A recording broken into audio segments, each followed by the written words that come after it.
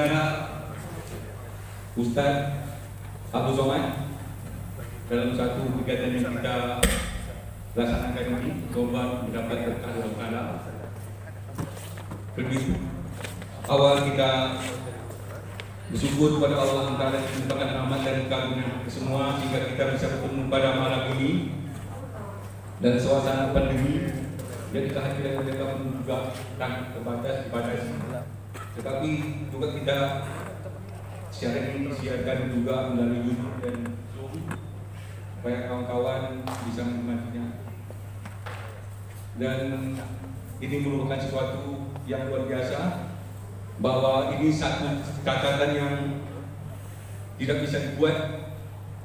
Selalu bisa saja ulama tapi tidak bisa dibuat. Pertemuan antara ulama dan penyair ternyata puas ini mengirimkan penyair apalagi penyair dan mengirimkan puas jadi uh, untuk yang pertama kita anggil kita bukan Muhammad Allah dari orang penyair yang cukup punya nama dan sudah lama mengabdi dan penyairan yaitu Kakanda Aris Agebar silakan Assalamualaikum warahmatullahi wabarakatuh. Waalaikumsalam warahmatullahi wabarakatuh. Sudah kudarahkan sebutir pas dalam tubuhku yang lebih. Sudah kudarahkan sebutir padi dalam tubuhku yang lebih. Dan bayaran duit itu mencucukkanku sampai tak ku tahu di mana dosa. Sudah kudiamkan sebuah dosa dalam kata-kata yang tersapa dan cengkraman dosa itu mencabik lidahku sampai ku tak tahu di mana rasa.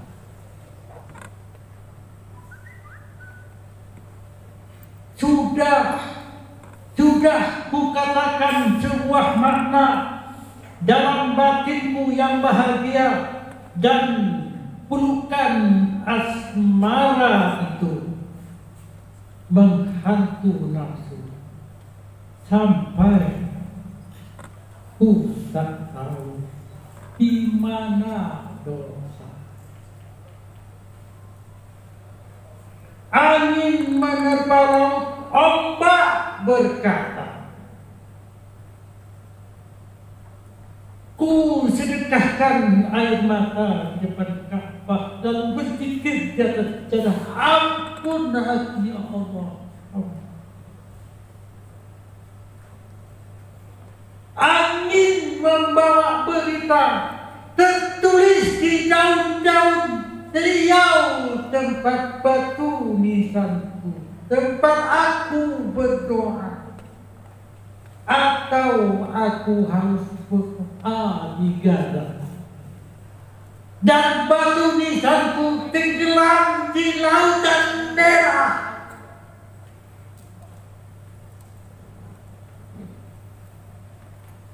angin meruntuhkan bubuk sepasang orang tua masih terjulur.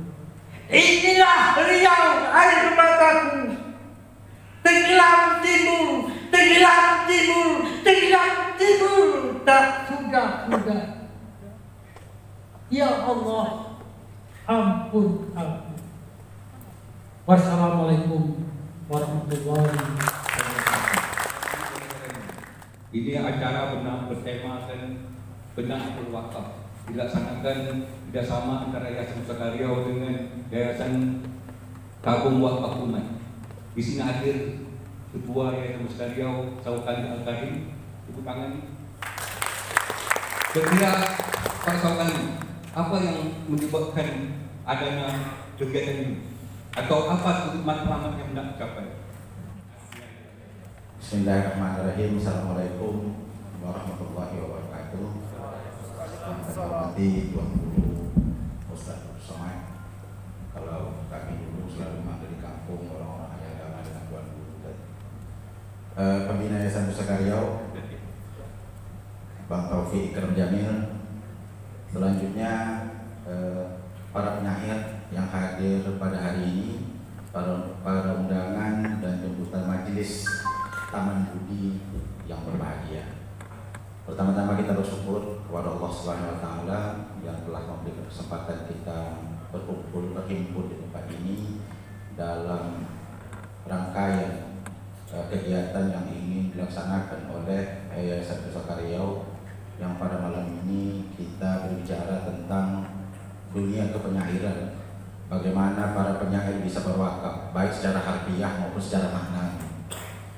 Dan Alhamdulillah pada malam ini kita menghadirkan Tuan Guru Ustadz Abdul Somad. Sebuah sosok yang tak perlu dikenalkan lagi dan saya khawatir kalau saya memperkenalkannya membuat beliau semakin kecil Selanjutnya salam dan salam kita sampaikan kepada junjungan alam Nabi besar Muhammad Wasallam yang telah memberikan kita iman dan Islam. Mudah-mudahan dengan salam berselawat kita dihindarkan dari segala khianat dan segala mudarat dan kepada kita selalu bentangkan jalan maslahat dan kelak pada hari akhirat kita berharap mendapatkan semangat. Menyambung apa yang disampaikan oleh uh, Bang Taufik Kegiatan malam ini penyadur wakaf ini kita sebut dengan Taman Budi. Mengapa kita sebut dengan Taman Budi? Kata Budi adalah sebuah kata yang sering digunakan di dalam khazanah Melayu. Sebuah kata yang demikian abstrak tapi memiliki arti yang sangat luas, banyak sekali. Bahkan dalam satu risalah yang saya baca, seseorang dapat berbudi minimal memiliki sembilan hal dalam dirinya ada akal, ada perasaan, ada tabiat, ada kebaikan, ada tindakan yang benar dan seterusnya yang baru bisa membuat orang berbudi. Sehingga membalas peristiwa budi menjadi, sesuatu yang uh, sangat sulit untuk dilakukan. Maka taman budi adalah sebuah ikhtiar mengumpul segala kebaikan dari berbagai berbagai peristiwa dan berbagai tokoh dan berbagai tempat sehingga menjadi sebuah taman yang penuh dengan bunga-bunga pemikiran bagi kemaslahatan kita semua. Yayasan Pusaka Riau pada masa lalu pernah punya majelis Jumat yang menaja eh, kegiatan-kegiatan diskusi eh, bulanan yang pada saat ini kita ganti dengan Taman Budi. Dan kita selalu sebagai manusia menjadi manusia itu ada ada dua, ada menjadi manusia dan ada menjadi manusia yang menjadi. Dan menjadi yang manusia yang menjadi adalah menjadi manusia yang selalu dan kita berharap kegiatan malam ini yang nanti diisi dengan uh, dialog ada juga tanya jawab pemikiran-pemikiran dari Tuan Guru uh, Ustaz Somad dapat menjadi sebuah sebaran budi bagi kita dalam menghadapi uh, berbagai bentuk pandemi di dalam kehidupan kita. Tidak hanya pandemi corona ada pandemi sunyi, ada ada pandemi kemiskinan dan berbagai pandemi yang semua ini harus kita hadapi dengan hati dan akal kami kira itu sebagai pengantar. Mudah-mudahan acara ditaja oleh Yayasan Sukaryau dan uh, Yayasan Tabung Wakaf Umat ini menjadi sesuatu yang ada manfaatnya sekecil apa pun manfaat itu. Bila itu berhidayah. Wassalamualaikum warahmatullahi wabarakatuh. Dan Ustaz Somad maupun kawan-kawan yang berada di ruangan ini baik pun di alamannya sana bulan kali ada tahun 2020 ini dapat disebutkan dengan tahun kesedihan benang karena beberapa penyair terbuka pemikiran yang luar biasa satu bangsa ini dibantu oleh Tuhan Beliau khususnya pada awal 2020 berpulang berahmatullah penyair Taufik dan tidak dia. Taufik dia akan datang. Kemudian pada bulan Juli ini meninggal Profesor Dr. Sakati Joko Demono seorang penyair terkemuka di Indonesia dan kemudian dalam usia 20 tahun tapi seminggu kemudian setelah dia meninggal meninggal pula Ayub Rusidi dalam usia 62 tahun belum itu di dalam hadis ini saya meminta keridaan hati tuan-tuan, tuan-tuan semua untuk mendekatkan sebanyak Al-Fatihah kepada beliau itu. Al-Fatihah. Datuk Seri Ulama Setia Negara. Beliau berpidato disuruh menggunakan menggunakan syair-syair dan itu sangat mengejutkan dunia sastra Indonesia. Apalagi beliau menyampaikan saat itu dengan teks yang teks itu teks uh, rangkaian kertas-kertas yang dari sebenarnya sehingga menampilkan satu pertunjukan. Nah, pertanyaannya sekarang adalah sejauh mana dunia penyiaran atau saya ini terlihat apa berpengaruh kepada Ustaz Somad apalagi Ustaz Somad ini dengan nama di atas dari kalangan itu dan mungkin ada sesuatu yang berkesan dari Somad mengenai penyiaran Bismillahirrahmanirrahim. Assalamualaikum warahmatullahi wabarakatuh. Alhamdulillah wassalatu wassalamu ala Rasulillah wa ala alihi wa sahbihi wa man tabi'ahu wa wala. Yang saya hormati Abang Muda, Ustaz juga, sahabat kita semua, Tuan Taufik Ikram Jamil, mungkin hadir bersama kita Tuan Aris Habibah, Tuan Samsudin Adlawi, kemudian Eko Ragil Ar-Rahman, Deni Kurnia, Tuan Sokani Karim, dan hadirin hadirat tak dapat disebut satu persatu hadir belum sama kita ketua Yayasan Tamu Wakaf Umat Tuan Haji Al-Mahdinar LC beserta rombongan. Insya Allah kita semua dimuliakan Allah Subhanahu Wa. Amin. Ya Alamin. Pertanyaan dari Tuan Taufik Ikram Jamil saya dengan syair saya masih ingat dulu almarhum Muhammad bercerita kata dia kita ini mestilah macam melukut di tepi gantang. Jadi karena kita masih kecil saya tanya melukut itu apa mak? Masih kebayang saya dia ambil tang waktu menanti pagi. Jadi ada ujung padi yang patah. Kata dia inilah melukut itu. Melukut di tepi gantang. Gantang itu itulah segoni besar beras. Jadi kalau kita ini supaya tak angkuh sombong, senantiasa kita ini merasa di hadapan Allah itu di tepi gantang. Kita pandanglah orang-orang ini semuanya gantang-gantang, sedangkan kita ini yang melukut-melukut kecil. Jangan dengan satu satu mut padi, satu kaleng susu padi, sepadi pun tak penuh. Jadi kalau kita merasa diri kita besar, maka kita dihinakan Allah. Jadi lebih dulu masuk syair ke kepala saya baru ayat dan hadis. Belakangan barulah saya belajar ayat Quran, barulah belajar hadis, man siapa yang merendahkan dirinya kepada Allah, illa rafa'ahullah, maka Allah mengangkat derajat. Karena mak saya tak sekolah agama. Ayah sibuk mencari nafkah, mak mendidik, tapi didikan itu dengan syair. Kemudian ketika banyak ujian-ujian dalam hidup, kata dia begini, tak mati tua ketika berani. Apa artinya? Orang itu berani, kau tua. Tak mati tua ketika berani. Kalau ada orang menikah, orang berani boleh menikah, tapi orang bertuah tak mati. Kalau ada tuah di badan, kalau ada tuah di badan, pasir pingin kamu menjadi intan. Tapi kalau badan celaka, intan di tangan itu dia dia. Kemudian saya ini orangnya lembut. Kalau berceramah saja suara menggelegar. Kalau berkawan banyak hak-hak saya dimakan orang dan saya tak melawan. Dan banyak orang utang tak bayar.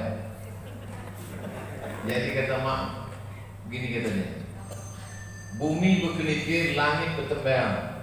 Salah-salah fikir uang-uang baik jadi hamba orang. Bumi berkelikir, langit bertembayan. Bumi berkelikir itu maksudnya bumi ini berbatu-batu kecil. Langit bertembayan, merah menyala kalau matahari mau tenggelam. Salah-salah fikir uang baik jadi hamba orang. Salah-salah fikir maksudnya kalau kita tidak berpikir lurus, uang-uang baik jadi hamba orang. Awak kalau baik dipijak orang kepala itu. Kau kalau terlalu baik, so kau jadi hamba orang. Sesuai dengan ayat Al-Quran, La taj'al yadaka maghlulatan ila unuqika. Jangan sampai tanganmu kau letakkan ke tengkuk, pelit, bakhil, kedekut. Wala tabsutha kullal basti. Jangan pula terlalu memberi sampai tak ingat diri. Nah, jadi lebih dulu syair-syair itu masuk ke kepala saya sebagai seorang Melayu, barulah saya sebagai seorang Muslim yang mengerti Quran dan Sunnah. Maka dalam satu hembusan nafas, saya ingin kita orang Riau, orang Melayu, satu hembusan nafasnya dia sebagai seorang Melayu yang berbudaya, dia juga seorang muslim yang beragama. Jadi tak ada benturan antara adat istiadat dengan ajaran agama. Agaknya begitu tuh. Ini memang luar biasa. Berarti memang ada virus satu dalam kehidupan Ustaz Somad. Dan alhamdulillah dan itu berarti bahwa Ustaz Somad ini sudah mengenal saya itu mulai dari kecil dan kecil juga. Misalnya saat itu pada boleh meninggal dari juga si Aiki Tosri yang meninggal juga mempelajari saat dari kecil dan ini juga berlanjut dan terus menerus. Ya alhamdulillah saya juga terus tulis sekian generasi ada tadi kita sudah panggil generasi yang 60-an sekarang coba kita dengar. Generasi 20-an tentang Riau Eko Rafael Rahman. Silakan. Saya sampaikan juga bahwa ada salam dari dari Datuk Seri Setia Datuk Seri Lera Budaya Rindak Jamsi yang mengikuti acara kita lewat Zoom. Juga ada eh, anak Gubernur Riau Arifin Ahmad. Dois yang menyaksikan kita lewat YouTube di Australia sekarang berada dan kemudian saya ulangi lagi bahwa kita bisa bertanya di chat itu Zoom dan langsung silakan Dinda Assalamualaikum warahmatullahi wabarakatuh. Waalaikumsalam. Tidurlah sayang,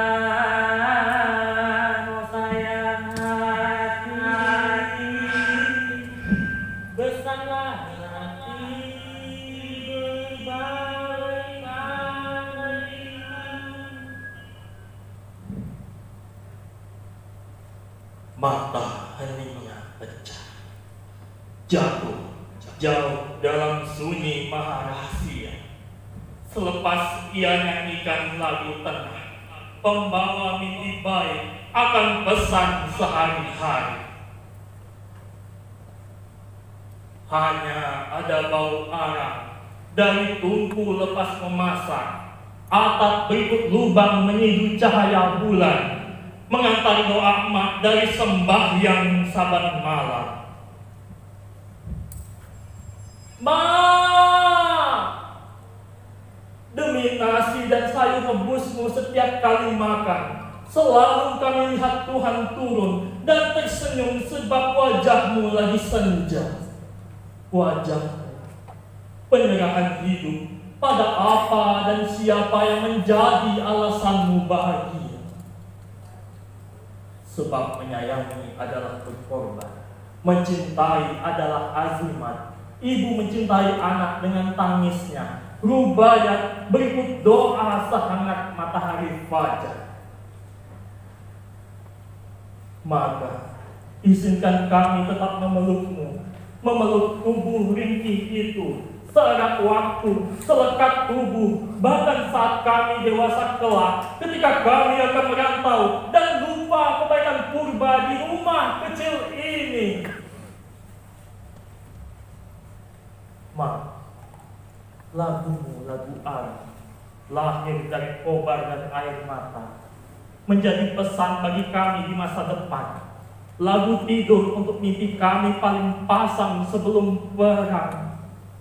Tanah bagi seluruh agama. Sebab hidup adalah harusan kami para anak-anak. Besarlah, baik budilah, angin nasib, ikuti hayat, jadilah tuah negara, bijaklah, jangan tersesat, bahkan pada maut yang bertandang. Katamu dalam tiap amin doa, amin air mata. Juga pada segala pilihan, puluhan jarak dan lembang sejarah, bulan adalah ketika kami kembali pada pelukmu, kembali tidur, mendengar lagu. Assalamualaikum warahmatullahi wabarakatuh. kondisi apa penyaringan ini begitu penting di dalam kehidupan kita. Tapi bagaimana kalau menurut Ustaz di pos- kebenaran di posisi pandangan dari Islam? A'udzubillahiminasyaitonirrajim. Ayat ini selalu kita baca malam Jumat. Wa ma 'allamnahu syi'ra wa ma yanbaghi lah. Kami tidak pernah mengajarkan syair kepada Nabi Muhammad SAW. Wama yang bagilah dan syair itu tidak layak untuk dia. Kata-kata kalimat ini seolah-olah berpandang negatif terhadap syair. Tak layak syair itu bagi Nabi Muhammad SAW. Mengapa demikian? Karena dulu zaman jahiliyah penyair itu banyak penipu, pembohong. Dia mengolah sedemikian kata begitu indah karena dia menginginkan sesuatu yang jauh dari Allah Subhanahu wa taala. Tapi kemudian ketika datang Nabi Muhammad SAW, ketika akan berperang, Nabi punya seorang sahabat yang hebat bersyair namanya Hasan bin Sabit. Kalau mau perang, Hasan bin Sabit itu dipanggil Nabi untuk membacakan syair-syair. Hai Hasan, bacakan syair untuk membangkitkan semangat perang. Oleh sebab itu, hari ini penyair-penyair mesti membangkitkan semangat umat, khususnya di negeri Melayu, membangkitkan semangat umat di Republik Indonesia dengan syair-syairnya yang menyentuh hati orang. Karena tadi bagaimana dikatakan Tuan Ketua, kita tidak hanya pandemi corona, tapi pandemi kemiskinan, pandemi kepedulian, pandemi ketidakberdayaan, pandemi begitu jauh sekat antara kaya dan miskin, maka penyair mesti berpeluang di sini, mesti berperan aktif di sini. Maka syair ketika dia digunakan untuk yang baik, yang menjadi pahala luar biasa. Orang boleh meninggal dunia, tapi tulisan syair tetap kekal abadi. Menulislah, bersyairlah, menulis syairlah, supaya orang di masa akan datang tahu bahwa kau pernah hidup di masa lalu. Saya kira demikian. Uh, Ustaz, uh, kita kan tahu bahwa penyairan syair ini seperti saya tahu Ustaz tadi bahwa sebelum masuk hal-hal lain, sebelum belajar Al-Quran, sebelum belajar yang lain, saya telah masuk. Dan kita dan saya e, melihat bahwa dunia syair kepenyairan ini merupakan salah satu hal yang sangat dekat e, dalam sejarah manusia. Kalau kita melihat e, sejarah kebudayaan besar dunia misalnya ada Yunani kuno, ada e, kebudayaan e, yang Wangfu, ada Babilonia, ada Euphrates, Tigris, ada Gangga Yamuna. Bahwa warisan, salah satu warisan yang paling penting yang mereka tinggalkan adalah karya-karya syair atau puisi. Seperti puisi-puisi Homer di Yunani. Ini menunjukkan bahwa memang eh, ini sesuatu yang sangat dekat dengan manusia. Dan kalau kita melihat misalnya eh, pada masa lampau, betul Ustaz tadi menyebut eh, nama Hasan bin Sabit, bahwa pada masa jahiliyah juga begitu banyak penyair-penyair yang hebat. Ketika saya membaca misalnya Ibnu Qayyim al yang menuliskan bahwa pada masa lampau ada sejumlah penyair-penyair hebat yang yang bertarung di pasar Ukas misalnya ada ada apa Eh, penyair yang bercerita tentang kepahlawanan Kabula, ada yang bercerita tentang uh, uh, perempuan yang kemudian timbul pikiran bahwa seperti yang saya sampaikan bahwa syair ini sesuatu yang tak layak gitu. Kemudian tapi pada masa Nabi dan seterusnya muncul penyair bahkan para pemimpin juga menjadi uh, seorang penyair. Kita ingat abad ke-16 sebelum Muhammad Al-Fatih menyerang Konstantinopel, dia meninggalkan sebuah catatan kecil kepada istrinya adalah sebuah puisi. Dan ini ini tentu sangat luar biasa. Dan bagaimana Ustaz memandang bahwa penting atau tidak karya-karya uh, puisi ini saatnya apakah menjadi sesuatu yang sangat, sangat penting dalam uh, mengembangkan siar seperti yang sampaikan itu. Sebab kita melihat bahwa di berbagai tempat orang berproses. Sebab ini perlu juga. Sebab banyak seperti Bang Aris selalu bilang punya itu diikuti oleh orang sesat. Yang berjalan di dalam lembah yang, yang, yang tidak melakukan apa yang dia katakan gitu kan. Dan apa dan bagaimana pentingnya seorang pemimpin agar dekat dengan dunia. Kalau kita membaca Al-Quran, maka tidak paham kata yang ada dalam surat itu, dalam ayat itu, ke mana kita mau bertanya? Maka jawabannya adalah syair. Makanya di Universitas Al-Azhar, jurusan yang paling sulit adalah jurusan bahasa Arab. Saya diwanti-wanti sama kawan-kawan jangan ambil jurusan ini. Nanti kau mengambil syair jahili. Syair jahili, syair-syair yang ditulis orang-orang jahiliyah. Dan itu mesti dihafal dengan kosakata-kosakata yang umurnya ribuan tahun. Sedangkan bahasa Melayu yang dulu saya sempat kuliah di Universitas Kebangsaan Malaysia, rupanya di UGM ini kita tetap juga suruh mengambil bahasa Melayu dua SKS. Mungkin mereka lain kita tidak Melayu. Nah, jadi tetap juga ambil nama guru dosen bahasa Melayu Cik Rusdi. Jadi datang Cik Rusdi, dia bagilah kami manuskrip yang umurnya 100 tahun. Begitu kami baca, kami tak paham. 100 tahun umur manuskrip Melayu kita tak paham.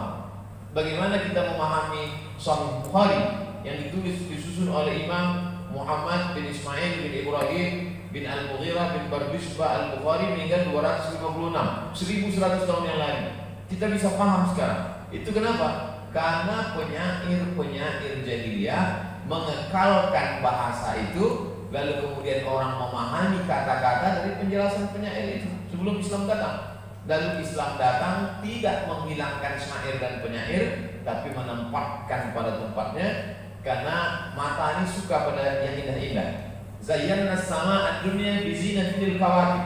Kami hiasi langit itu dengan bintang gemintang. Kalau mata suka melihat bintang gemintang yang cantik, maka telinga juga suka dengan suara-suara lantunan. Tadi ada lantunan-lantunan yang indah.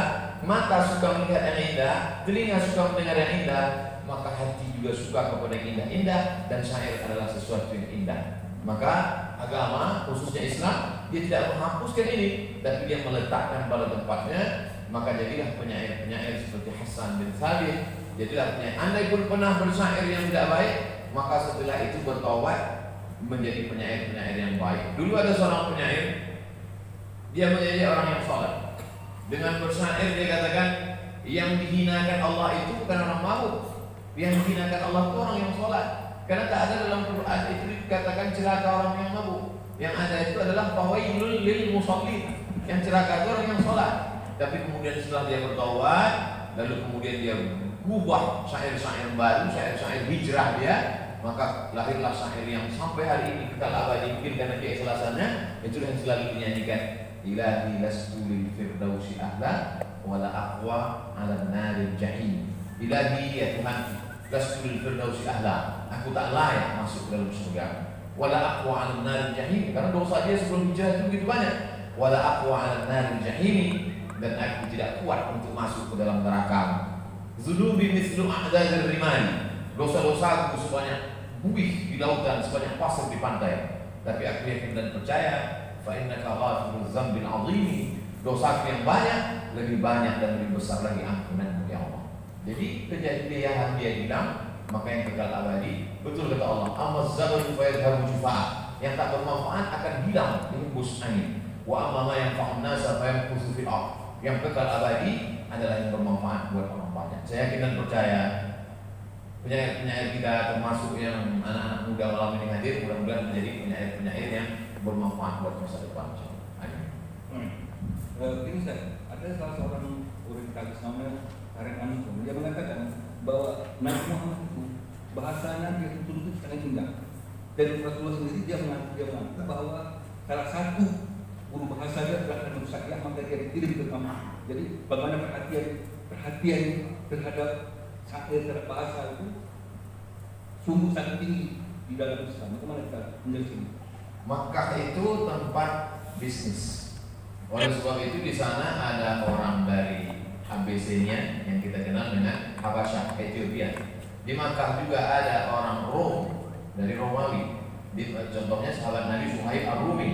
Di Makkah juga ada orang Nubia, Afrika Utara. Contohnya Bilal bin Rabah. Di Makkah juga ada orang uh, Persia, contohnya Salman Al Farisi. Artinya bahasa Arab di Makkah itu karena dia pusat peradaban, karena dia pusat bisnis dagang, tiap tahun orang berkumpul, jadi bahasanya kacau. Sama macam bahasa orang Pekanbaru. Tak ada loh. Jadi bahasa apa? Ya, kalau mau bahasa yang asli, pergi ke Mekalis misalnya, pergi ke suku Talang, bahasa. Nah, Imam Syafi'i lahir 204, lahir 17 150, meninggal 204. 200 tahun sesudah Nabi Muhammad SAW. Bagaimana cara dia bisa memahami Al-Quran dengan bahasa aslinya? Dia belajar bahasa Arab di suku Bani Hudayr Ishruna sana, 20 tahun. Kenapa? Supaya tidak terkontaminasi dengan bahasa yang tidak original tadi. Untuk memahami Quran hadis dengan bahasa aslinya, dia mau e, mengasingkan diri di suku Bani Hudayr karena suku itu asli bahasanya asli. Ada satu ayat Fatirus samawati wal ard. Abdullah bin Abbas, sahabat Nabi, tak mengerti ayat itu. Dia baru mengerti mana fatir itu sampai datang dua orang Arab Badui mengambil upah menggali sumur. Orang orang yang pertama mengatakan, "Ana fatar Tuhan." Fatara, barulah dia paham, oh itu makna fatir. Ana fatar Tuhan, aku pertama menggali, sesudah aku menggali barulah engkau menggali. Kata Abdullah bin Abbas, ternyata makna fatir pertama kali dari kata orang yang meng- mengatakan menggali sumur tadi, aku yang pertama menggali, barulah engkau. Fatirus samawati wal Allah yang pertama kali mencipta langit dan bumi, tak ada satu pun yang bisa mencipta seperti dia. Memahami Al-Quran dengan keaslian bahasa dan yang menjaga bahasa itu tetap asli adalah para penyair-penyair. Jadi kalau mau tahu bagaimana bahasa Melayu yang asli, kita bangga. Ketika dulu orang berkata di buku sekolah kita bahasa Indonesia berasal dari bahasa Melayu dan tulis di situ Melayu Riau. Dan sekarang siapa yang bisa menjaga bahasa itu, maka insya Allah penyair-penyair Riau. Tuan-tuan dan puan-puan, bahwa pernah saya katakan Ustaz Somad tadi bahwa di tempat kita di kawasan Melayu ini bahwa syair memang menjadi satu kekuatan untuk membangkitkan semangat. Misal kita mengenal ada perang sabir, ada syair-syair di Aceh misalnya, kemudian di Kaeksia, kemudian kita masih masih belum terlalu lama sebetulnya buat Iman dan Musa juga dinampingi oleh penyair sehingga kita dapat melihat bagaimana Tuan Kita Musa mengatakan saya lebih bagus mati di medan pertempuran daripada mati di tempat tidur. Nah, itu perlu diubah oleh penyair. Dan kita mengetahui bahwa begitu besar sebetulnya pengaruh Islam pada penyadaran kita, ini. Nah, salah satu sebab pengaruh Islam kita yaitu dalam bentuk pengolahan kata-kata syair dan musik di kamus. Bagaimana kalau kita saksikan dulu Islamik dan Siska melantunkan kepada Abu Sa'ir di dalam kamus. Silakan.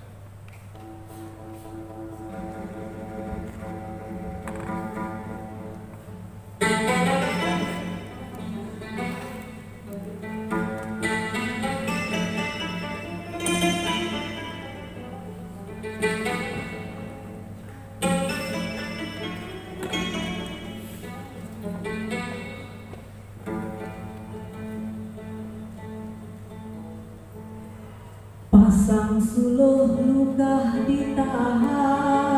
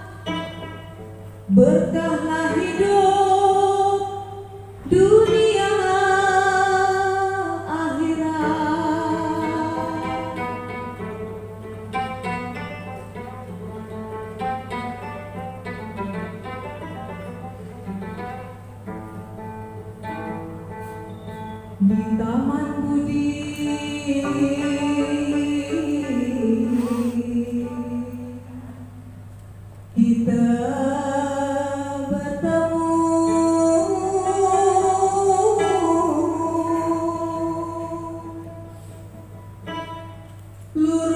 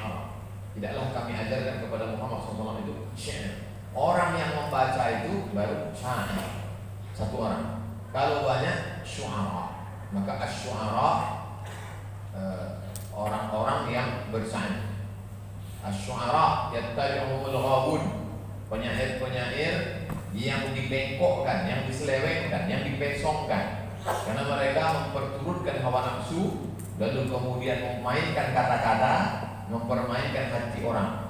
Maka kemudian ketika Islam datang maka Nabi Shallallahu Alaihi Wasallam sebetulnya sama juga dalam hal apa pun bisnis dagang misalnya sebelum itu mereka curang riba. Maka datanglah Nabi Muhammad SAW meluruskan ini. Maka akhirnya yang tidak baik menjadi baik. Begitu juga dengan syair. Maka datanglah sahabat Nabi memuji-muji Nabi membacakan syair-syair. Nabi diam sakata wa tabassama. Nabi diam dan tersenyum. Maka Nabi diam dan tersenyum itu mengandung mana? Hukumnya mubah. Maka datanglah ulama-ulama menyusun syair-syair yang begitu indah. Abu Tadi Ulimlah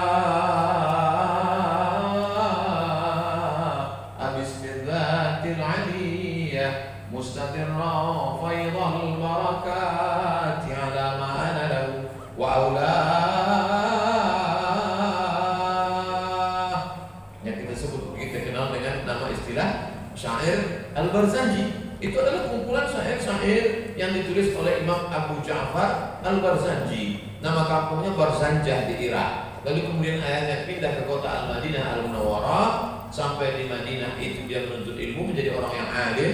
Pada masa pemerintahan Turki Utsmani diangkat dia menjadi mufti, ahli fatwa, pemimpinnya para ulama di Yaman. Menjelang akhir usianya mereka menulis syair-syair sampailah ke negeri Melayu populer syair Al-Barzanji. Kemudian ada pula syair yang disebut dengan syair ditulis oleh Imam Al-Busiri. Nama kampungnya di Alexandria, Iskandaria, Mesir, 200 km dari Kairo.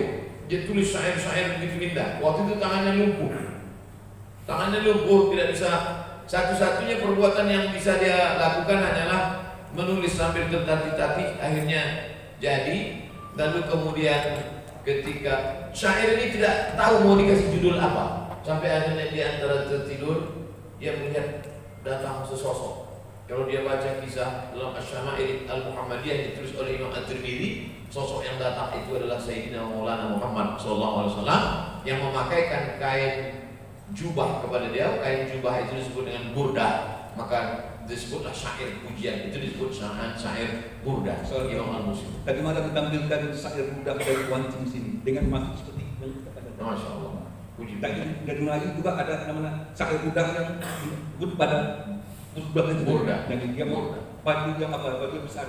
kain orang Arab ini jubahnya seperti pakaian para habaib Habib Umar bin Habib Habib eh, Salim Syatiri di dalam ini jubah putih kemudian ada jubah di luar biasanya warna hitam warna gelap. Yang di luar ini disebut dengan burda. Nah itu yang dipakai. Nabi SAW itu burda. Burda itu khadra burda berwarna hijau. Nah, maka disebutlah syair itu karena waktu dia tidur dipasangkan Nabi disebut dengan syair syair burda. Dan ketika Nabi sudah memasangkan itu dia terbangun dan dia dalam keadaan sembuh sehat walafiat berkat pujian. Maka berlomba-lomba para ulama menulis syair. Ada syair Syibtud Durar. Kemudian yang terakhir masih hidup orangnya Habib Omar di Madinah menulis syair uh, Abdiyaul Lame. Nah ini kurang eh, di tempat kita kurang populer. Penyair-penyair membuat puji-pujian untuk Nabi Muhammad SAW maka bisa dibuat uh, musabaqah lomba maulid Nabi lomba syair Ini ide yang waktu tanggung dan sombong. Luar biasa. Jadi, Komar ini bicara soal syair itu sudah luar biasa. Apalagi bicara soal soal yang berhubungan dan hubungan langsung. Gini Ustaz, ada satu pandangan orang bahwa dia bilang kalau misalnya Nabi Musa itu melawan penyihir, sementara kalau Rasulullah SAW itu melawan penyair. Artinya ada batas-batas yang harus diperhatikan oleh seorang penyair yang kita sebut yang kalau kita sebut sebagai satu wawasan estetika. Kira-kira apa kira-kira yang bisa menjadi dalil untuk kita membatasi sesuatu syair dalam pandangan Islam? kreativitas tanpa batas akal itu kalau tidak dibatasi dia liar dia akan pergi ke mana-mana hati pula juga perasaan kalau sudah bercerita tentang rasa rasa itu juga tak terkendali. Hati kalau diajak berasa maka dia tak ada batasan. Pikiran juga kalau diajak makanya filosof-filosof itu banyak yang nyasar yang sesat. Maka ketika akal dan hati ini mulai liar datanglah syariat Islam. Syariat itu adalah koridor bagaimana kita hidup. Bagaimana? Siapa pun sebetulnya sebenarnya punya potensi untuk liar tidak hanya penyair filosof liar pemimpin liar orang kaya liar maka ketika Islam datang dia membuat aturan-aturan kalau men, kalau bertentangan dengan Al-Quran, bertentangan dengan Sunnah, mengingkari akhirat, mengajak membuat perbuatan tercela, dia menjadi haram. Tapi kalau syair-syair ini mengajak mengingat Nabi, mengesahkan Allah, membuat rasa ketakutan kepada buat dosa, maka dia bagian dari amar ma'ruf nahi munkar. Kita punya segmen-segmen. Ada orang yang bisa ditegur dengan ceramah, tapi ada orang dengan ceramah dia tak masuk, tapi dengan syair justru masuk ke dalam hatinya. Maka kita, siapakah di antara kita ini nanti yang mulia di hadapan Allah?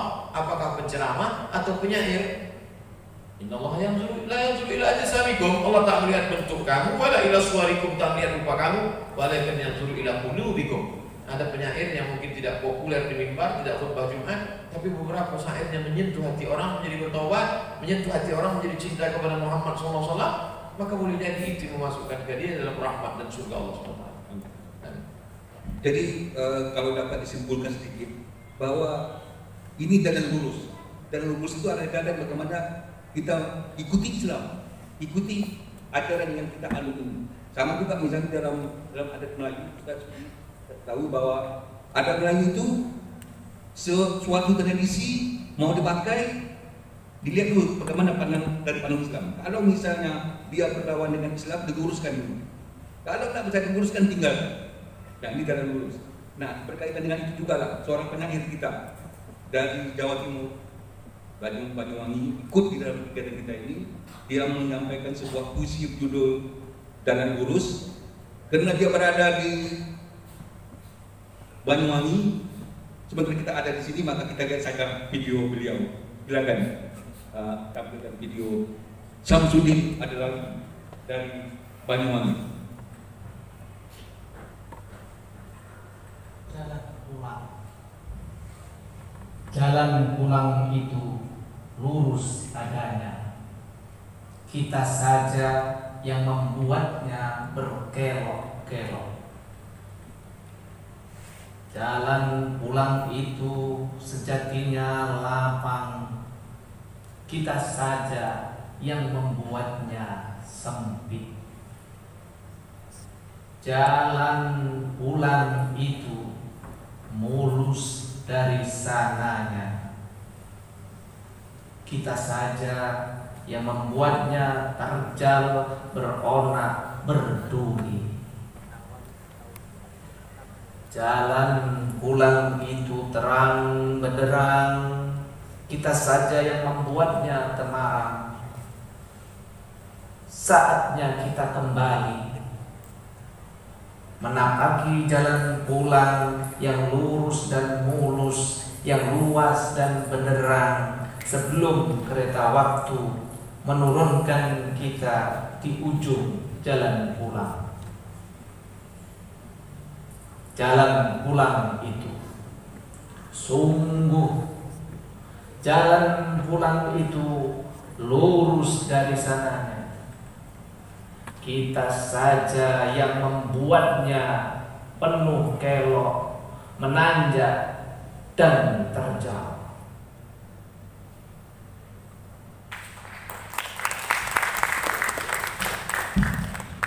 Baik, menyambung eh, ada yang terpikir eh, bagi saya seperti disampaikan oleh Bang Taufik tentang eh, penyair. Penyair ini kan kerjanya mengolah. Eh, Orang-orang juga selalu mengatakan bahwa penyair ini dekat dengan penyihir, bahwa mereka mampu menghipnotis orang lain. Dan kita melihat bahwa memang eh, dalam hidup kita kata-kata memang memiliki pengaruh yang sangat kuat dalam mempengaruhi dalam mempengaruhi orang lain. Dalam sebuah diskusi kami pernah eh, eh, eh, mendiskusikan bahwa orang-orang tidak eh, tidak pernah bertemu dengan Buddha Gautama. Tapi ketika orang membaca kitab-kitab agama Buddha, ada sekian ratus juta orang menjadi pemeluk agama itu. Orang tidak pernah bertemu dengan Nabi Muhammad, tapi yang mereka baca adalah kata. Kitab suci adalah sebuah kata, dia secara kata depan kita. Ada lebih dari satu miliar orang beriman. Ada lebih dari 1,5 miliar orang beriman karena kata-kata yang ada di dalam Bible. Orang tak tak kenal uh, Konfusius, tapi ajaran Konfusius muncul di mana-mana karena kekuatan kata-kata yang indah. Bagaimana Ustaz melihat benarkah bahwa kekuatan kata ini karena kalau kita melihat di Amerika misalnya serasional apa pun manusia mereka tetap menginginkan munculnya seorang pemimpin yang memiliki kata-kata yang bagus. Bagaimana Ustaz menilai kekuatan kata-kata Sehingga banyak orang ingin menjadi penyair agar bisa menguasai orang lain misalnya uh, bisa bisa lebih mudah melalui orang lain misalnya. Jadi bagaimana Ustaz memandang kekuatan kata dalam kehidupan manusia? Inna minal bayani la sihra. Inna sesungguhnya minal bayan. Bayan maksudnya kata-kata yang jelas. La sihra. Dia seperti sihir. Itu makanya penyair itu bisa dia membuat orang terpukau, terpesona. Orang yang punya banyak utang bisa lupa. Makanya kalau sudah musim-musim dekat-dekat momen-momen penting, orang-orang bisa memukau ini, sebetulnya saya kalau mau digolongkan, mau dikategorikan dalam tablik akbar itu, kalau pengajian kan saya duduk baca kitab. Tapi ketika tablik akbar itu bermain dengan kata-kata. Makanya sebelum itu saya sholat sunat dulu dua rakaat, saya dalam keadaan berwudu, saya minta kepada Allah yang kubawa ini adalah kitab sucimu, ya Allah. Yang mau kusampaikan ini adalah sabda nabimu, ya Allah. Yang mau kuhadapi ini adalah hamba-hambamu. Jantung mereka de- berdetak karena engkau, hidup mati mereka di dalam kuasa kudrat iradat engkau. Kuserahkan diriku kepada engkau, la haula wala quwata illa billah. Karena itu bukan kuasa saya. Maka banyak hal-hal yang di sebelumnya ingin saya sampaikan begitu berhadapan dengan orang di stadion 100 ribu orang, saya serahkan semua kepada Allah.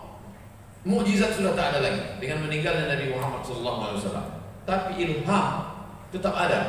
Maka kalau hati itu kata Al Ghazali cermin, kalau dia bening, maka dia punya connecting dengan Allah Subhanahu Wa Taala. Maka ada penyair penyair hati. Dari mana datangnya syair itu? Apakah dari lidahnya? Tidak. Ada jasa mutwah dalam diri ini ada segumpal. Segumpal itu ada orang menyebutnya jantung, ada orang menyebutnya hati. Tak mau ikut membawa kita pada konflik apakah jantung ada hati, kita ko- kombinasikan aja jantung hati. Lalu di jantung dan di hati itulah sebenarnya letak kata-kata itu. Makanya seorang penyair berkata, Innal kalama la fil fuadi wa inna ma ju'ila lisanu 'ala al-fuadi dalila. Sesungguhnya kalam itu letaknya di jantung. Innal kalama kalam la fil fuadi dia letaknya di dalam. Wa inna ma ju'ila lisan diciptakan lis- lidah 'ala al-fuadi dalila untuk menunjukkan apa yang ada di dalam. Jadi ketika saya mengungkapkan kata-kata saya, dia sama seperti gunung es yang tampak itu sebenarnya hanya sepertiga, dua pertiganya lagi di dalam. Begitu juga ketika seorang penyair menuliskannya dalam bentuk kata-kata, dia sudah habis jurus untuk mengambil kata yang paling mewakili hatinya. Maka kalau sudah bercerita tentang rasa, rasa tak bisa mewakili wakili oleh kata. Kata terlalu miskin untuk menceritakan apa yang ada dalam rasa. Maka banyak orang yang tak mau ngomong. Kenapa bang tak cerita? Ku tahu kau yang kau mau. Jadi dia menurut dia cukup, cukup dengan rasa saja. Saya kira hubungan kita selama ini dengan eh, Tuan eh, Taufik Ikram Jamil dalam selama ini eh, ada sesuatu yang membuat kita bisa dekat, bisa akrab tanpa kata. Kita bisa saling merasakan. Nah, jadi seorang penyair Dan saya sangat rindu sekali Allah maaf.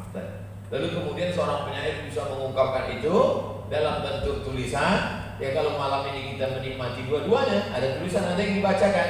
Maka sesungguhnya sebagaimana dikatakan Tuhan tadi, maka ketika orang menulis itu usia ribuan tahun, ketika orang membacanya terpukau. Bagaimana mungkin orang membaca tenggelamnya kapal Pandaruwik sampai meleleh air matanya seolah-olah dia sedang berada di dalam kapal itu dipukul ombak di pos gelombang saat itu begitu buku tutup baru dia sadar rumahnya dia naik angkot di simpang tiga mana bagaimana kata-kata menyihir dan penyihir-penyihir ini amat sangat diperlukan dalam film pilkada 2020 Dan kata-kata itu kadang- kadang-kadang sekarang ini sering dibolak-balikkan. Sebentar ngomong begini, sebentar kemudian berkata seperti. Sebentar baru saja dia ngomong lawan corona, kemudian dia bilang, mari kita bilang, ini ke mana kita? Kemudian kata-kata sekarang di, di tengah awal publik kita sekarang ini. penyair belum hijrah Karena sekarang gini, karena apa? Sekarang penyakit yang berbadan air. Apa yang harus dilakukannya di tengah kata-kata yang begitu begitu di, dibuaikan, begitu ditelanjangi, begitu di begitu dimanipulasi? Di mana posisi penyakit dan apa yang harus dilakukan?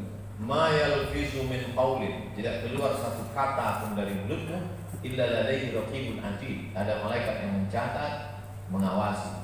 Maka sebelum kau berkata, sebelum liar yang menjadi kalimat, maka ingat bahwa setiap kata itu akan diminta pertanggungjawaban di hadapan Allah. Al-yawma nakhtimu ala afwahihim hari itu mulutmu terkunci. Itu kan limuna aidihim. Karena kalau mulut tidak dikunci di akhirat, penyair masuk surga semua. Dia paling pandai begitu ditanya Allah, kenapa kau begini? Wahai kau yang maha itu kata-kata yang lain. Hari ini aku sudah berubah. Oleh sebab itulah maka al-yawma nakhtimu ala afwahihim. Hari ini mulut mereka akan dikunci. Wa tukallimuna aydihim. Kami buat tangan mereka bicara. Wa tashhadu arjuluhum. Kaki mereka bersaksi. Apa yang akan dibicarakan tangan? Apa yang akan dipersaksikan kaki? Ini maka yang disebut. Di situlah perang agama. Silakan kau bersaing, silakan kau beraktivitas, silakan berkreativitas. Islam bukan agama yang memancing kepala orang karena berkarya. Tapi ketika dia memakai ini sebagai sarana untuk mengajak ke jalan Allah, ud'u ila sabili rabbik, ajak mereka ke jalan Allah bil hikmah dengan kata-kata yang santun. Siapa yang bisa berkata santun kalau bukan penyair? Allah. Alhamdulillah dan intinya tetap berkarya dan karya Ustaz. Dan kita ingat bahwa setiap karya kita itu pasti dinilai. Dinilai oleh umum juga dinilai oleh baik apalagi pada awal tadi sudah saya katakan bahwa Indonesia bahkan Riau tahun ini memang merupakan tahun kesedihan penyair karena tiga orang sastrawan utama di tanah air meninggal dunia dan banyak sekali kisah-kisah menyebutkan ternyata ketika seseorang itu meninggal dia minta kembali dia minta kepada Allah agar dia kembali dengan dunia maka tujuannya satu saja untuk kembali pada dunia. Ke mana dia bisa bersedekah? Begitu. Nah dalam kata inilah saya dengan sukacita mengundang ketua yayasan wakaf Agung Wakaf Umat untuk uh, berbicara menyampaikan sesuatu yang bisa memberi kegiatan ini bertambah makna. Dipersilakan.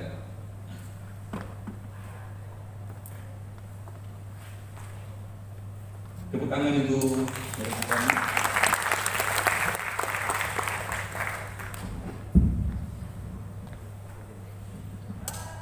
Assalamualaikum warahmatullahi wabarakatuh. Bismillah, Alhamdulillah, salatu wassalamu ala Eh, Terima kasih eh, Tuan Taufik, Tuan Syukrani, Tuan Guru Sahmul Somad serta para penyair dan sahabat-sahabat yang hadir di malam hari ini. Saya mewakili Yayasan Temu Wakaf di awal hendak membuka dengan pantun sedikit. Tuan Fakih mestilah paham adat dan syair Mesti kuasai syair jahili banat su'adu. Bertuah betul acara temu penyair Bisa pula sosialisasi YTWU YTWU itu bang Yayasan Tabung Wakaf Umat. Nah, Jadi saya malam ini untuk mengenalkan sedikit.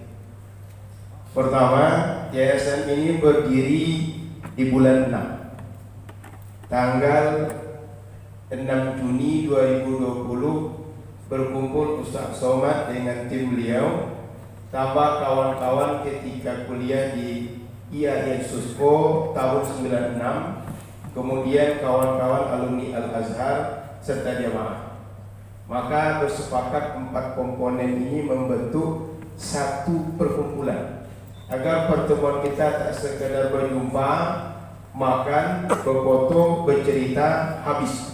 Tapi ada yang kita pikirkan setelah itu, begitu mati nanti ada jariah yang mengalir untuk kita. Maka terbentuklah Yayasan Tabung Wakaf Umat. Kenapa terbentuk Yayasan Tabung Wakaf Umat ini? Dulu banyak yang menitipkan wakaf kepada Ustaz, tapi beliau tak punya waktu dan takut kalau tak punya waktu tak bisa mengelola dengan baik amanah orang tak terlaksana dengan semestinya oleh sebab itu beliau memilih tak menerima sementara dalam hidup kita ada orang susah mencari harta untuk hidup tak tahu mengadu ke mana sebagian kita pula ada orang kaya kalau hendak mengeluarkan harta tak tahu melemparnya ke mana maka muncullah tabung wakaf untuk menjadi jembatan di antara keduanya. Lalu setelah muncul tabung wakaf ini kita hendak mengapa dengan tabung wakaf? Nah, kami ingin tabung wakaf ini sebagai lembaga mengoptimalkan pengelolaan wakaf. Targetnya wakaf. Ada wakaf sosial, ada wakaf produktif. Aset yang kita punya dia berkekalan tapi manfaatnya terus mengalir. Sehingga kalau nanti ada orang berwakaf, kita kumpulkan dana mereka, kita gunakan untuk hal produktif. Begitu nanti sudah menghasilkan manfaatnya kita bagikan pada banyak orang. Tapi yang pokok tadi tak berkurang. Kita putar terus, putar terus sehingga peradaban bangsa ini tersupport dengan wakaf tadi. Kemudian begitu dia sudah berhasil, apa hendak kita buat? Sokong pendidikan. Sehingga sederhananya jangan sampai orang tak sekolah di negeri Melayu. Yang kedua, sokong ekonomi. Yang ketiga, sokong sosial. Yang keempat, sokong untuk dakwah. Maka orang lapar bisa makan karena wakaf hidup. Orang tak sekolah karena miskin bisa sekolah. Orang jauh dari dakwah tersentuh dengan dakwah karena ada yang memobilisasi dakwah dengan kekuatan wakaf. Maka ini target dan tujuan kami Tuan Taufik. Kami ingin kelola wakaf. Tujuannya orang Melayu ini punya marwah, punya izzat. Kita kembalikan orang Melayu ini dengan kehidupan Islam yang ahlu sunnah wal jamaah tapi punya izzat. Karena hari ini banyak tantangan dari dalam dari luar. Dari dalam ada salafi, ada syiah, ada liberal, dari luar ada berbagai macam. Maka kita ingin tabung wakaf bergerak secara keilmuan, secara sosial dan berbagai gerakan tujuannya untuk benteng ahlu sunnah wal jamaah di Riau ini. Maka kami punya program. Di antara program kami pertama setiap bulan bagi sembako. Ini insya Allah tanggal 14 sampai 17 ini kita berbagi sembako di Nerlang, Kepulauan Meranti, di Tohor. Ada dua daerah kami fokuskan di Tohor dan Nerlang. Karena kawan-kawan kita anak-anak muda gemar berbagi meranti, beliau mengajak kami untuk kita berbagi di situ. Bulan lepas kami berbagi di Palas di RT 2 RW 2 Palas. Bulan ini insya Allah di Nerlang, pedalaman Meranti. Yang kedua orang tua asuh. Orang Riau punya potensi tapi tak punya dana kita sekolahkan. Ada dua anak yang sudah pergi sekolah. Sekolah tafiz dan sekolah tafakuh penguasai agama. Yang ketiga kegiatan kami adalah menghidupkan majlis-majlis pengajian. Ada majlis Sunan Al-Mustafa membaca kitab hadis dan para tuan guru duduk didengar oleh banyak orang. Insya Allah tanggal 14 sampai 16 Agustus ini kami roadshow ke Duri dan Dumai. Ada enam tuan guru, kawan-kawan muda-muda, roadshow ke Duri dan Dumai. Kita ingin buat majlis dan Mustafa di Duri dan Dumai juga. Yang kedua ada majlis muzakarah, para ustaz duduk mengkaji ilmu, saling berdiskusi. Mungkin seperti acara sekarang apa namanya Tuan Taufik? Taman Budi, berdiskusi para ustaz. Yang ketiga, majlis ilmu ini adalah pengajian yang bersifat kantoran bersilabus. Nah, bahkan sekarang kami karena baru sekre kami bisa kami aktifkan, mulai minggu depan kami membuka ada konsultasi syariah yang hari Selasa lalu sudah dimulai oleh Tuan Guru. Kemudian ada pengajian tematik setiap dalam sepekan ada dua hari. Dan yang ketiga ada konsultasi uh, ada pengajian talaki. Ilmu ilmu dasar bagi anak-anak muda yang semangat belajar ilmu agama. Sehingga kita hidup dengan keilmuan hidup dengan filantropi dan hidup dengan gerakan. Kemudian jangka panjang kami ingin mengelola sebuah Islamic Center di Riau. Maka kalau ada yang punya tanah wakaf di Pekanbaru agak 3 hektar lebih dari itu pun tak apa kita buat masjid, kita buat sekolah kita buat nanti unit usaha-usaha produktif yang wakaf produktif di lembaga itu sehingga sebuah kawasan berbasis wakaf akan menjadi pusat peradaban dan tempat mengaji para tuan guru menyalurkan ilmu dan mengkader anak putra putri negeri di Riau ini kita ambil dua orang sekabupaten dan kota di Riau kita kader jadi ulama, pulang mereka mendidik masyarakat pulang. Dan tuan guru kita insya Allah akan rutin mengisi pengajian di tempat yang kita buat markas itu nanti. Sehingga kami undang kalau ada di antara kita punya tanah di Pekanbaru berwakaf agak 3 hektar atau lebih, Yayasan Temu Wakaf siap menerima untuk kita buat masjid, sekolah dan berbagai unit usaha produktif di tempat itu. Kemudian kalau ada pula yang punya tanah wakaf, mungkin di luar Pekanbaru, tapi bisa untuk pertanian, mungkin untuk perkebunan, mungkin bisa untuk unit usaha yang lain. Kita produktifkan, hasilnya kita gunakan untuk pendidikan, sosial, dakwah dan ekonomi. Kalaupun tak tanah wakaf, boleh nanti SPBU wakafkan satu, perusahaan wakafkan satu, rumah makan wakafkan satu, uh, rumah kontrakan wakafkan. Apa pun yang bisa dikelola dengan produktif, kami kelola dengan baik. Mudah-mudahan bisa manajemen yang bagus, manfaat untuk masyarakat. Jadi inilah yang kami buat di Yayasan Temu Wakaf dan terakhir Yayasan Temu Wakaf ini sudah kami ikrarkan di awal. Ini milik umat. Sebab kami sudah berikrar ini hanya sebagai khidmah tidak menjadi warisan kepada anak keturunan. Maka ketika kami mendirikan, kami semua tanda tangan yang namanya ada di akta yayasan ini kami serahkan kepada umat dan menjadi milik umat. Itu sudah tanda tangan kami semua, Tuan Taufik. Inilah yang sudah saya sampaikan. Mohon maaf, saya akhir tak pandai Tuan. Cuma menutup sedikit boleh. Pergi berumroh menginap di Elam Masyair Hotel cantik di kawasan Ajiat Hendak kata mau bersair Tapi segan Ustaz Abdul Somad Terima kasih Mohon maaf Assalamualaikum warahmatullahi wabarakatuh. Luar biasa kita berterima kasih kepada yayasan ini. Karena melalui yayasan ini insya Allah kita bisa berwakaf melaksanakan sesuatu yang sangat mulia apalagi berkaitan langsung dengan daerah kita ini. Dan setahu saya ini Ustaz Somad ini saya menyebut Ustaz Somad ini dari Posmo ke Posmo. Jadi dia sebentar-sebentar dia berada di Eropa tapi sebentar berada di negara tapi tahu-tahu kadang-kadang dia berdakwah itu memberikan waktu berwakaf justru dalam dan salah satu antara dengan apa yang dibuat oleh wakaf ini coba para penyair apalagi zaman Rasul dia tidak saja membuat saya yang hebat. Seperti saya seorang penyair yang sangat saya kagumi walaupun tidak hebat karyanya adalah Abdullah bin Rawah seorang sahabat Nabi orang Ansar yang dia justru mati sakit dengan syairnya nah ini tentu tidak habis kita bicarakan dan tentu bukan isi debat juga Indonesia menjadi itu. Dan lebih baik kita kemudian menyapa beberapa orang yang bertanya. Banyak ada ada Tapi mungkin tiba-tiba ingat tiba-tiba sebelum kita membaca pertanyaan. Ah, begini Ustaz. 20 tahun yang lalu negeri ini pernah melakukan ikhtiar untuk menjadi sebuah negeri yang ideal seperti yang disampaikan oleh seorang penyair Irlandia. Sebuah negeri yang memiliki sistem yang kuat, memiliki ekonomi yang baik, memiliki masyarakat yang sejahtera, tapi pada saat yang sama pantun, balada, syair masih dinyanyikan di mana. Ikhtiar itu terbuang pada masa lampau 20, 20 tahun yang lalu. Dan hari ini ini stagnan, tapi terus terus menjadi mimpi, menjadi igau, menjadi puncak.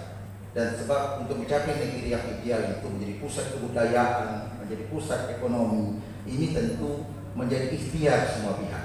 Para pihak harus mainkan perannya agar negeri ideal yang pernah diimpikan sejak Riau ini menjadi provinsi tahun 1997 ini menjadi sebuah kenyataan. Dan tentu ini bukan hanya kerja para para budayawan, para seniman, para penyair, para ustaz, tapi ini melibatkan para pihak yang juga berada di luar itu. Mungkin ini kita menyambut eh, ulang tahun Riau dan Riau punya pernah punya mimpi pernah punya ikhtiar itu. Dan Riau pernah memiliki satu zaman kita gegap gempita dalam dunia budaya. Maka kami minta dalam rangka menyambut Hari Jadi Riau pada tahun 2020 ini Ustaz memberikan saran mungkin apa yang dapatkan oleh Teraji kita tidak berbicara tentang orang per orang tapi tingkat kekuasaan Melayu eh, memberikan perannya agar negeri yang pernah diidam-idamkan orang Riau itu dapat menjadi kenyataan. Negara adalah kesepakatan sekelompok orang di sebuah kawasan untuk menuju kesejahteraan. Sekelompok orang di suatu kawasan bersepakat untuk menuju kesejahteraan. Jadi jangan bayangkan ketika Belanda datang ke tanah negeri bumi Melayu Kacang Kuning ini, lalu kemudian nenek moyang kita hidup di atas pokok kayu, tak berbaju, tak begitu. 1723 sampai 1946 hampir 300 tahun tiga abad lamanya kita hidup amat sangat sejahtera. Kalau mau tahu kehebatan kebangsaan kebanggaan kita datanglah ke Siak Sri Indrapura tengoklah cermin. Cermin dari Belanda. Lihatlah bagaimana gramofon mendengar suara. Lihatlah bagaimana hebatnya istana kita. Itu menunjukkan Lalu kemudian dari 1946 kita adalah orang yang amat sangat cinta negara kesatuan Republik Indonesia. Lalu kemudian kita bergabung dengan negara kesatuan Republik Indonesia 1946 sampai 2020 lebih mana? Lebih lama mana? Antara 1723 14 1946 dengan 1946 2020 lebih sejahtera mana? Wahai para sejarawan menulislah tunjukkan fakta ini. Inilah jihad kalian. Wahai alim ulama ciri pandai tokoh masyarakat wahai penyair mana syair-syair yang memukau menyihir itu? Sihirlah penguasa-penguasa ini. Insya Allah kita halalkan ini sihir. Sihir syariah insya Allah supaya bupati wali kota gubernur bangkit membangun. Sehingga tak lagi ada anak sakai yang tegak tak berbaju tak beralas kaki di atas pipa minyak emas hitam. Kalau meletuplah pipa itu kita yang mati. Tapi ketika berhasil dia menjadi duit ke mana dia pergi? Oleh sebab itu ini tanggung jawab kita bersama. Semua berjalan di koridornya tapi tujuan kita adalah kesejahteraan umat masyarakat bumi dan cakuni selamat ulang tahun provinsi Riau semoga kita lebih baik di masa akan datang Jadi begini Ustaz Somad dan tuan-tuan dan puan semua.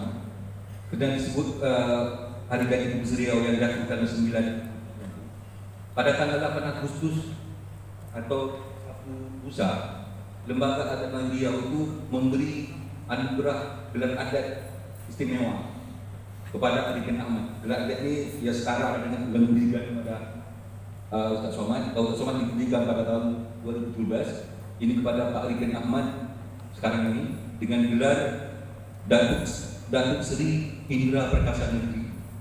Antara lain karena dia mengatakan begini. Kalau saja 1 sampai 5 persen hasil minyak Riau itu diberikan kepada Riau, maka saya tahu apa yang bisa dibangun masyarakat. Dan masa itu dan masa waktu itu ekspor minyak Riau itu sudah mencapai 13 13 miliar dolar US, beberapa triliun. Dan sejak sejak dia bicara itu, maka dia tak ada pendapatan apa-apa. Padahal dia pensiun sebagai gubernur Riau itu umur 54 tahun. Dia meninggal pada umur 70 tidak dipedulikan sama sekali oleh pemerintah. Ini baik. Tadi saya katakan tadi bahwa kita akan menjawab beberapa pertanyaan. Ada banyak pertanyaan yang muncul, tapi tidak mungkin semua kita jawab. Apalagi waktu itu sudah mulai eh, bergerak maju atau bergerak mundur. Ada pertanyaan Ustaz dari Lilis. Lilis ini di, di. Dia bertanya, bagaimana kita menghargai kebudayaan lewat syair?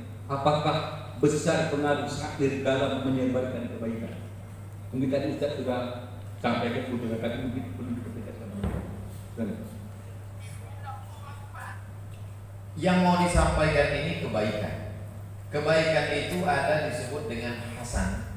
Ada kebaikan itu disebut dengan thayyib. Ada kebaikan itu disebut dengan khair. Tapi ada kebaikan yang selalu dipopulerkan dengan kata ma'ruf. Amar ma'ruf. Nahi mungkar. Ma'ruf diambil dari kata urf. Urf artinya kebiasaan.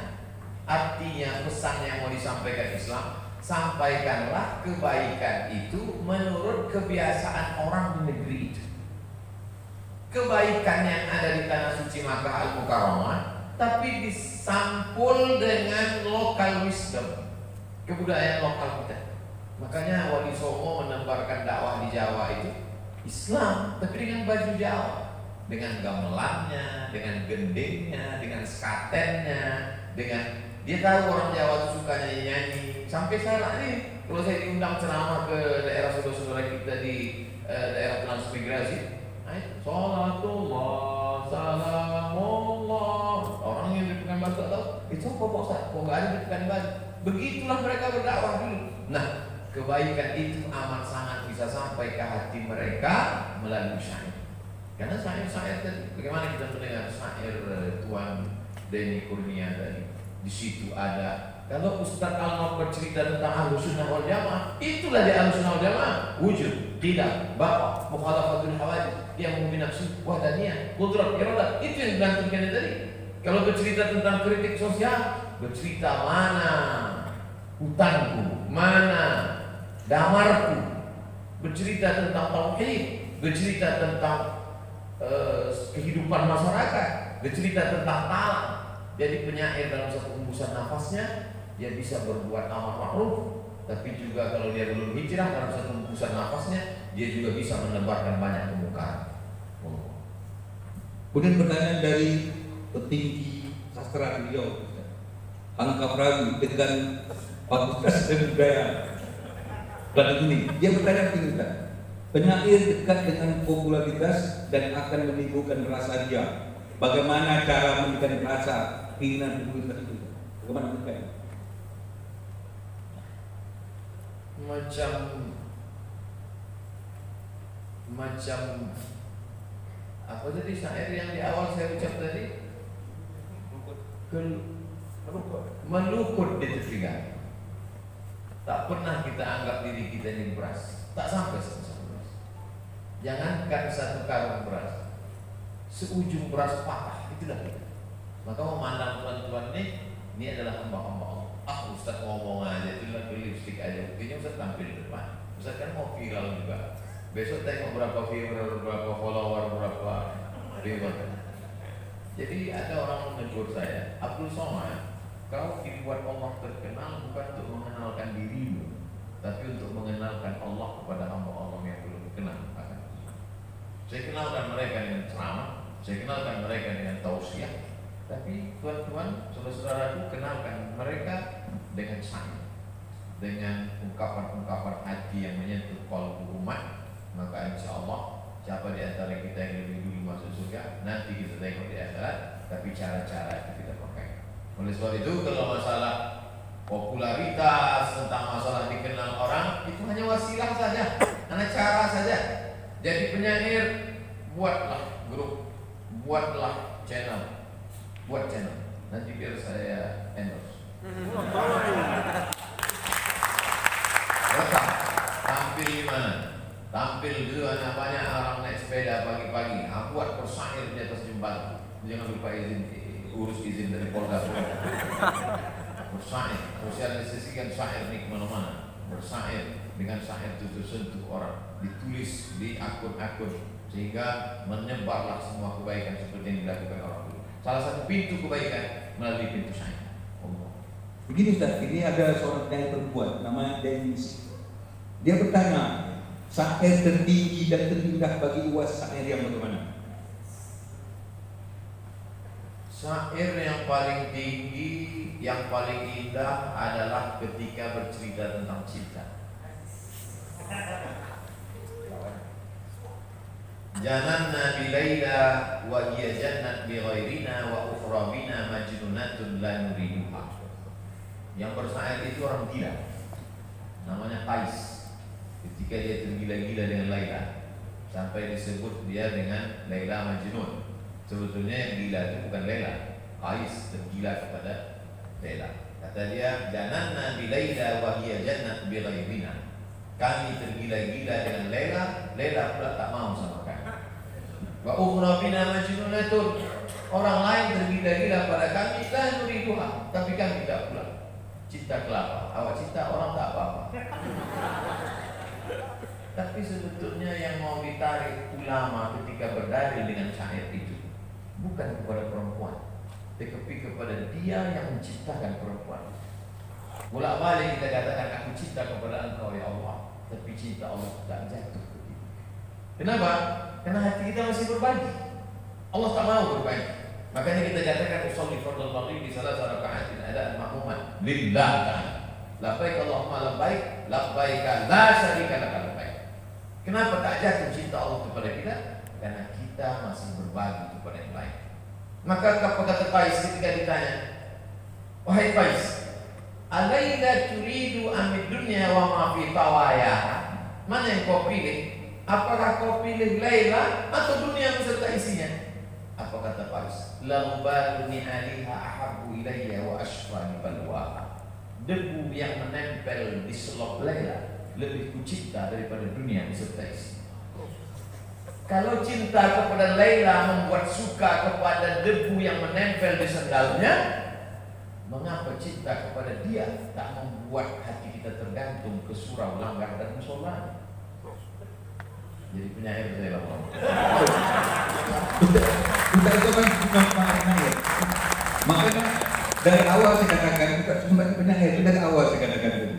Nah, Ustaz, ini ini bukan terakhir.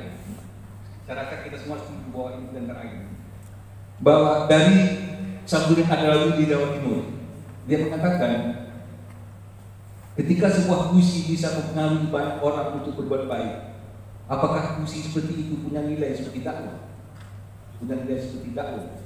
Man sanna fil islami sunnatan hasanatan. Siapa yang membuat suatu tradisi yang baik dalam ajaran Islam Tak bertentangan dengan Quran dan Sunnah. Dibuatnya suatu tradisi yang baik.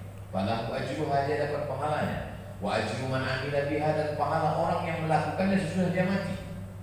Hari ini bergabung ustaz-ustaz dari tamu wakaf umat Dengan tuan-tuan penyair Taman Budi Mati kita masuk ke liang lahat, taman budi ini dihidupkan, maka ini adalah tradisi yang baik. Dapat pahalanya kita setelah kita mati mengalir lapang kubur kita, terang barzakh kita. Karena kita sudah buat tradisi yang baik. Maulid Nabi keluar sain-sain baru. Isra Mi'raj keluar sain-sain baru. Tahun baru hijrah keluar sain-sain baru. Menyambut tahun menyambut ulang tahun Riau keluar sain-sain baru lomba saya anak TK, anak SD, anak SMP, anak SMA. Hadiahnya kita carikan dulu nanti. Maka ini menjadi sunnah hasanah tradisi yang baik. Amin. Uh, Ustaz Somad, tuan-tuan dan puan-puan saudara sekalian bahwa sesungguhnya waktu saja yang memisahkan kita. Kita memang tidak puas dengan terang yang diberikan Ustaz Somad dan kita juga masih memiliki banyak tekanan tapi di sisi lain kita juga memiliki tugas-tugas yang harus kita selesaikan. Dan oleh karena itulah makanya dengan berarti kegiatan ini diskusi ini kita selesaikan sampai di sini. Dan pasti banyak kekurangan yang telah terjadi ketika saya dan Adinda Sultan Karim menerangi tanya jawab maupun ramah dari atau tausiah dari atau apa pun bentuknya dari penyair kita Ustaz Abu Somad. Karena itu saya mohon maaf dan kalau ada kelebihan, ada yang lebih itu sesungguhnya datang dari Allah Taala, maka hanya kepada Allah minta ampun dan kepada tuan-tuan, tuan-tuan, terutama kepada Ustaz Somad, Datuk Seri, ulama setia negara, saya mohon maaf, beribu maaf. Assalamualaikum warahmatullahi wabarakatuh.